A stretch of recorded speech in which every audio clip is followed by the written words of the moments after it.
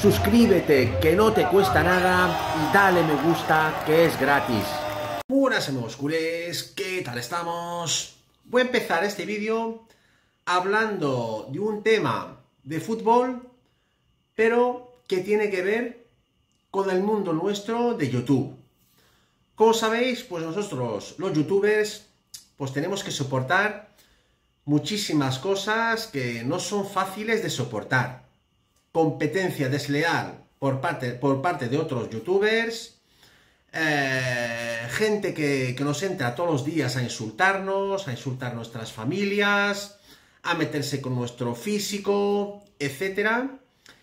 Y gente, pues, que entra simplemente para echarte mierda y, y para desacreditar tu trabajo. De hecho, hay mucha gente con tiempo libre, porque yo creo que una persona ocupada con trabajo o simplemente una buena persona, aunque tenga tiempo libre, va a ser incapaz de meterse a un canal con un perfil falso, a insultarle, a llamarle mentiroso, a llamarle vende humo, tal y cual, ¿eh? Sería incapaz. Pero bueno, hay mucha gente que por desgracia esta sociedad pues es lo que es, pues está yendo de mal en peor y hay mucha gente que son así, pues entra a tu canal con un perfil falso, a llamarte mentiroso, vende humo, etcétera, que no sé qué, no sé cuál. Pues bien, esa gente primero pues no sabe lo que cuesta llevar un canal, por ejemplo, como el mío. No estamos hablando de otros canales que copian o roban el contenido a otro, que no dan la cara, etcétera. Estamos hablando de youtubers como nosotros que llevamos años en esto, y ya la audiencia saben quién son, y lo que cuesta este trabajo es sobre todo mantenerlo durante años que tengas que, que publicar contenido todos los días, que trabajas de lunes a domingo, que no tienes apenas vacaciones, que estás con tu mujer, por ejemplo, en un restaurante comiendo tranquilamente, charlando y sale una noticia y la tienes que cortar para ir a grabar en el coche, etcétera. O sea, la gente que sabe lo que cuesta este trabajo, pues seguramente no harían perfiles falsos para entrar a insultar a una persona que al fin y al cabo no te ha hecho absolutamente nada. Si no te gusta el contenido de esa persona, pues simplemente pues dejas de verlo y ya está. Pues no hace falta que entras con un perfil falso a insultarle, etc. Pero lo curioso de todo esto, que también existen otros youtubers que a lo mejor no les va bien, ¿eh? o te tienen envidia, etcétera, y hacen perfiles falsos y entran a tu canal a llamarte mentiroso y tal, creyendo que esos comentarios pues te van a perjudicar.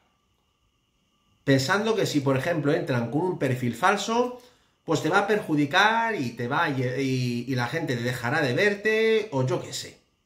Que por cierto, no tiene nada que ver. O sea, la gente que entiende de esto y te valora y sabe lo que te cuesta este trabajo, pues te va a seguir viendo pase lo que pase. Pues bien, referente a este tema de acusar a, youtubers de publicar información falsa, de, acosarles, de amenazarles, etcétera, porque supuestamente lanzan eh, información falsa y de que no salió en la prensa, tal y cual, pues hay, dos casos de dos jugadores que curiosamente lo ha oficializado la prensa, que son el de Arda Guller, que toda la prensa y todos los youtubers lo han anunciado como fichaje oficial del, del Barcelona. Y otro caso también del ex delantero del Chelsea, el joven talentoso Tudor Mendel, que toda la prensa culé y no culé lo ha anunciado como nuevo fichaje del Barcelona, golpe de deco, todos los youtubers.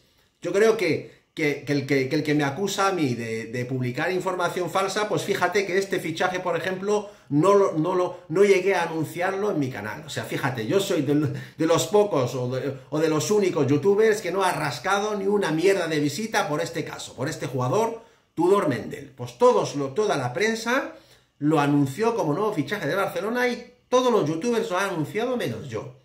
Pues resulta que ahora estos dos jugadores, Arda Guller y Tudor Mendel, los dos que toda la prensa lo ha hecho como oficial, como nuevo fichaje del Barcelona, ninguno está jugando en el Barça. Arda Güler fichó por el Madrid y el chaval ese Tudor pues ha fichado por el Anderlecht belga. Entonces, ¿en qué quedamos? ¿Quién miente ahora mismo? ¿Los youtubers? ¿La prensa? ¿Los dos? ¿Ninguno? Yo creo que sinceramente eh, la gente que... Yo no me refiero a la gente que sabe cómo va este mundo, y lo respeta y sabe lo que cuesta este trabajo y llevarlo. Yo ahora mismo me estoy eh, dirigiendo a esos haters que a lo mejor no tienen la edad de saber cómo funciona este mundo del fútbol, ni tener, vamos, ni la menor idea de cómo es la vida en general, porque a lo mejor todavía es mantenido por sus padres, nunca ha trabajado, nunca ha salido en su casa, nunca ha viajado, etcétera. No sabe lo que cómo, cómo funciona la vida, o sea, cómo tiene que ser eh, la vida, ni, ni, lo que cuesta la vida, etc. Yo me dirijo ahora mismo a esa gente, a esos, no, no me estoy dirigiendo a los que hacen los perfiles falsos y son mayores para hacer daño al canal, no, no, no, no, esa gente, vamos, mi caso, esa gente, ignorarla, ¿eh? Y el tiempo mete cada uno en su sitio. Ahora mismo me dirijo a los chavales que tienen ese hate, pero todavía o sea, que no en verdad no lo hacen con mala intención, simplemente que tiene ese hate, lo que, lo que ha absorbido de esta sociedad y toman todo a pecho. Vamos a ver. El fútbol son noticias que pueden ser verdad y pueden no serla. Es decir, cuando sale una noticia, cuando sale una noticia, aunque sea oficial de algún periódico, de algún youtuber, no, no significa que está hecho al 100%. O sea, el que está hecho al 100% es el jugador sentado, por ejemplo, con Jean Laporta, con Alemán, firmando su contrato, ¿eh? eso es al 100%. Cuando un periódico o un youtuber lanza una noticia, aunque la haga oficial, no está al 100%. Hay una mínima posibilidad de que al, eh, al final ese fichaje no se haga.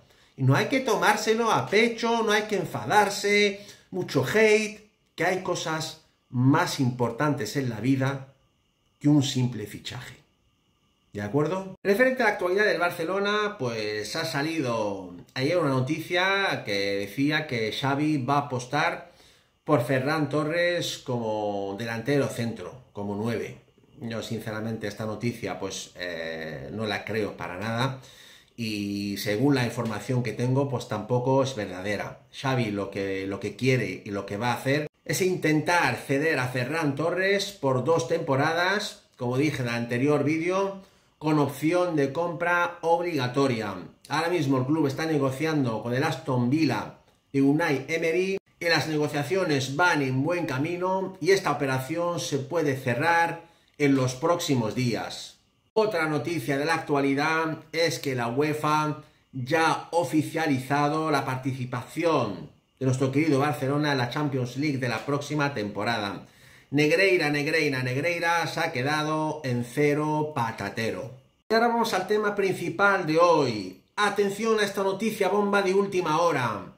Una fuente alemana muy importante acaba de informar que Barça y Bayern Múnich están negociando a pasos agigantados para el fichaje de Joshua Kimmich por el Barcelona en este mismo mercado veraniego. La misma fuente asegura que el fichaje de Kimmich por el Barça se va a hacer con trueque bomba incluido para abaratar la operación. El jugador que va a entrar como trueque para abaratar la operación de Kimmich Barça es nada más y nada menos que el delantero brasileño Rafinha. Y la misma fuente va a más, afirma que Kimmich, al que elogió a Xavi en una reciente entrevista asegurando que es su ídolo, va a firmar para el Barcelona por los próximos cuatro años. Y con esta gran operación, Xavi lo que va a hacer es bajar a Kimmich para que juegue